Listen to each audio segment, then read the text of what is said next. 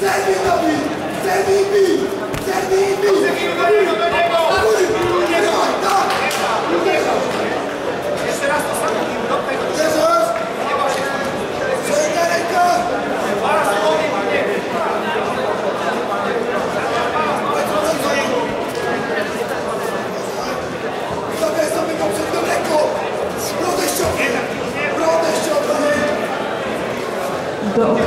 Drugiego zapraszamy finalistów turnieju junior do 66 kg.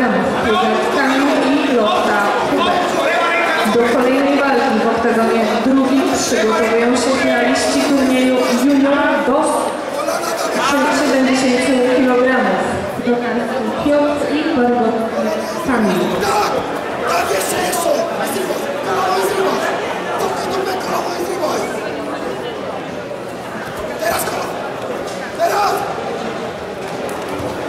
どこに見たら